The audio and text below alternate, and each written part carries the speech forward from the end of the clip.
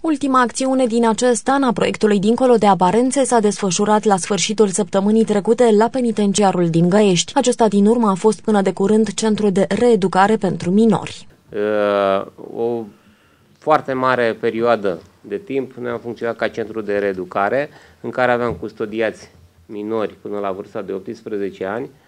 Eram singurul centru de reeducare în care aveam și fete minore și cum vă aminteam mai devreme, prin uh, reorganizare, acești minori s-au dus la celelalte două centre. Funcționam trei centre de reeducare în țară, unul la Buziaș, unul la Târgu Ogna și unul la Găiești. Aceste trei centre de reeducare deserveau uh, trei mari regiuni ale țării.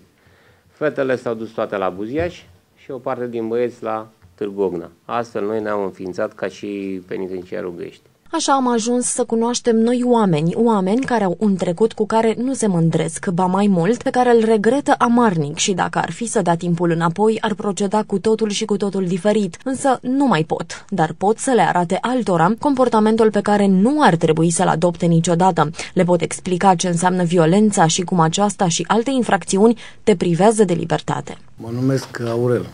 Sunt din zona apropiată, nu chiar de aici. Am avut o poveste de viață foarte grea. Am ajuns aici din cauza părinților, n-am fost ajutat. Am luat-o pe un drum greșit.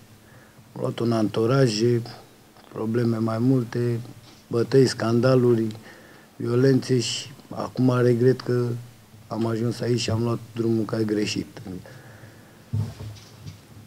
Cu greu, dar viața a mers înainte, dar foarte greu. Familia m-a îndepărtat, nu am fost sprijinit în nicio parte și am fost nevoit să merg pe o cale mai greșită.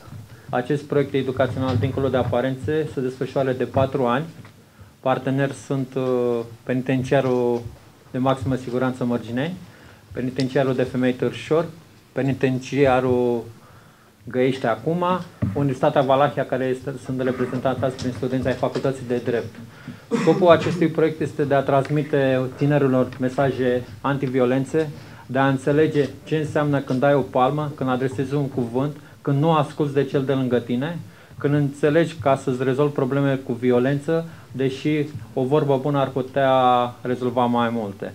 Poveștile celor două persoane sunt uh, de ascultat pentru voi și de urmărit. Nu încercăm să scoatem în față un element negativ, încercăm prin ceea ce veți afla azi să tragem niște concluzii, nu dăm rețete, nu vă spunem faceți așa sau nu faceți așa, încercăm să găsim o modalitate de a evita violența. Vă invit să urmăriți integral poveștile oamenilor care își trăiesc viața după gratii în emisiunea În slujba legii de marți.